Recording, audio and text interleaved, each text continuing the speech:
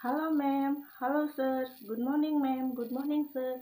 I want to introduce myself to you. My name is Eti. I am 34 years old. I am from Karawang, West Java. I am Muslim. I am divorced. I have one children, 14 years old. My height 165 centimeter. My weight 65 kg.